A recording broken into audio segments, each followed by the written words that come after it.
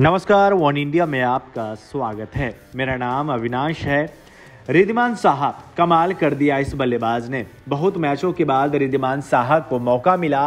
Bairstow की जगह David Warner ने रिद्धिमान साहा को खेलने का मौका दिया और सभी को प्रभावित करने में इन्होंने कसर नहीं छोड़ी।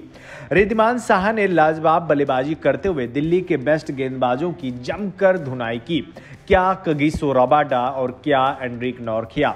जो भी रिद्धिमान साहा के रस्ते में आए पीट कर अपने घर गए। महज 45 गेंदों का सामना करते हुए इस बल्लेबाज ने सत्तासी रनों की पारी खेली।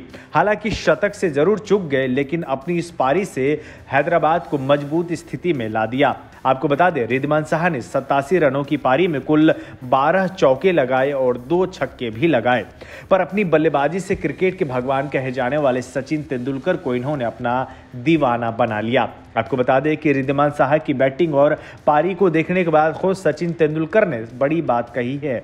सचिन ने ट्विटर अकाउंट का सहारा लेते हुए कहा, रिद्धिमान साहा की स्मार्ट बैटिंग, अपने शॉट्स पर उन्होंने काम किया और लाइन लेंथ को पढ़ के बढ़िया बल्लेबाजी की।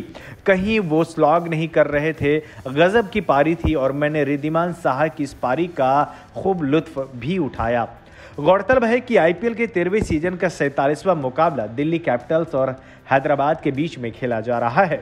दिल्ली की टीम ने टॉस जीतकर पहले गेंदबाजी करने का फैसला किया। हैदराबाद की टीम ने 20 ओवरों में दो विकेट खोकर 219 रन बनाए। दिल्ली को जीत के लिए 220 रनों का टारगेट मिला। हैदराबाद की तरफ़ से इस मैच में कप्तान डेविड वार्नर ने भी धमाल मचाया। उन्होंने 34 गेंदों का सामना करते हुए छियासठ रनों की पारी खेली। साथ ही पहले विकेट के लिए साहा के साथ मिलकर 107 रनों की अहम साझेदारी की। इस खबर में बस इतना ही। तमाम अपडेट्स के लिए बने रहिए वन इंडिया के साथ।